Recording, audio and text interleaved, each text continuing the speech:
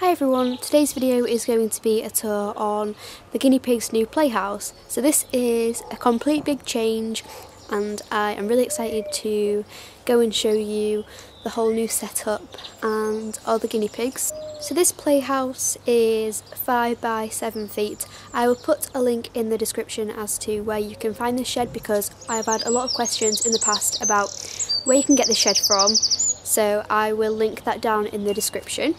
So this is called the Poppy Cottage and it's from a company called York Timber Products.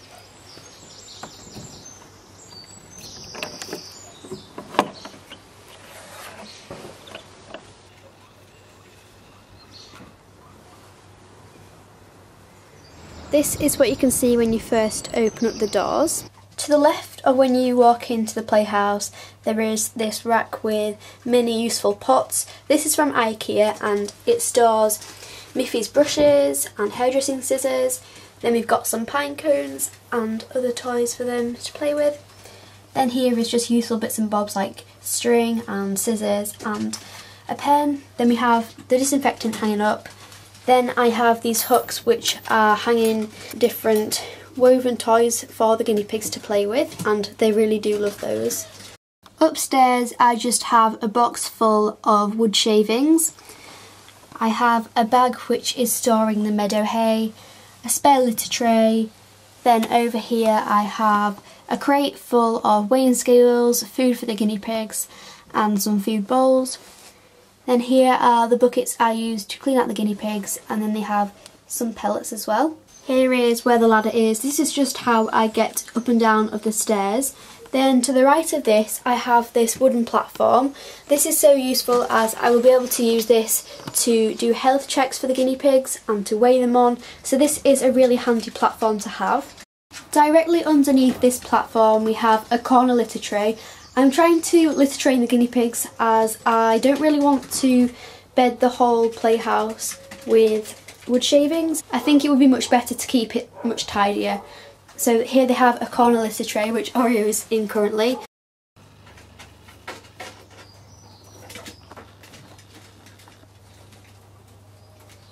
In front of that we have this wooden bendy log sticks bridge. We also have this window which also allows a lot of light to get in here. Here I have all of the guinea pigs hutches. Now their large hutch doesn't fit through the door of this playhouse so I had to compromise. We've got all of these smaller hutches. So these two are designed for guinea pigs and rabbits. They have a lift up lid which is very handy. And then, oh look at Hazel on there. We have a larger dog kennel down there. So at night I fill these hutches with lots of straw to keep the guinea pigs nice and warm. And as you can see this is a really great little sun trap for them. It doesn't get too hot in here, it's just right for them and they get a nice little bit of sunshine on a morning.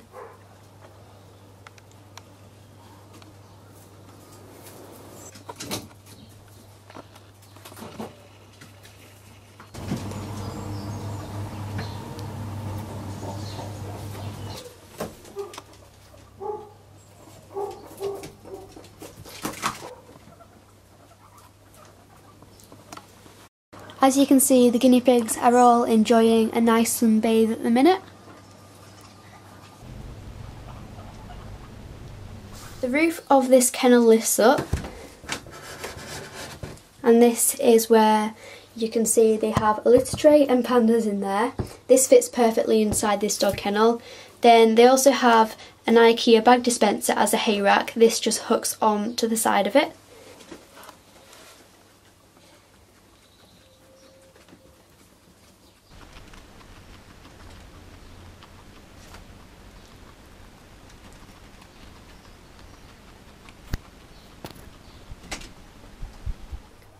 In front of the hutches, the guinea pigs have quite a lot of floor space. So in this area they have some wooden shelves and they also have a couple of toys to play with. Then to the back corner over there they have a water dish because I find that with water bottles they always leak. So a water bowl is best for my guinea pigs.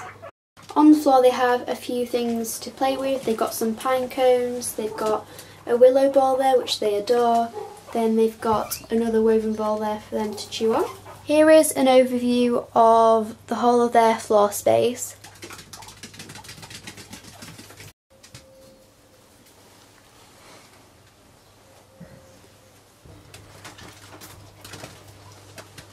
Underneath the upper level we have these lights which are so useful when it's dark at night. I can switch them on and it also helps the guinea pigs to see overnight because it's not really fair to let them run around in the dark so these are really good to have. Over here is still where the cat flap was for the bunnies but because the guinea pigs can't work a cat flap I have to lift it up. I will show you when I go on the outside but this is just how they get to the inside or to the outside. On this side of the shed I have some hooks. I hang some C&C grids up across the cat flap overnight so that the guinea pigs cannot get outside. Joined onto the playhouse they have this outdoor enclosure this is from Amazon. It's by a company called Bunny Business and they have a range of products. They also sell the smaller hutches I have on the inside.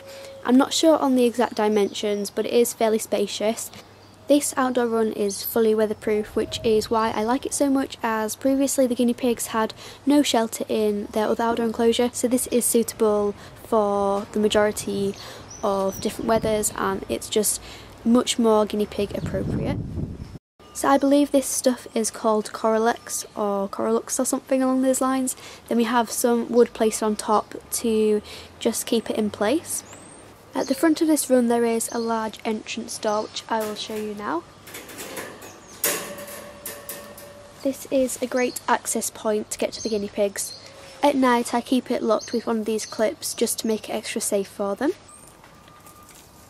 So on the inside they don't have a lot here but they do have quite a few things to keep them interested and occupied.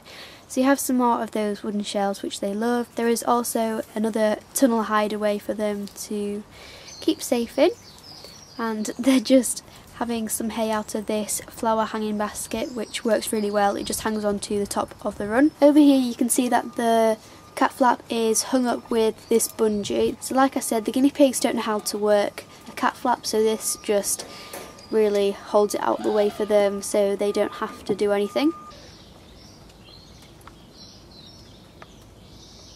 Then to get them in and out they have a couple of logs so it's just easier for them. The great thing about where this run is placed is that they get quite a lot of sunlight in the morning so they do get a lot warmer than they did in their previous aviary which they lived in. There is always the option to bring out a really nice run for them on the grass which joins on to the rest of their accommodation in the warmer months and hopefully that'll be soon because the weather is starting to improve so hopefully they will get out on the grass quite a lot and I'm sure they will love that.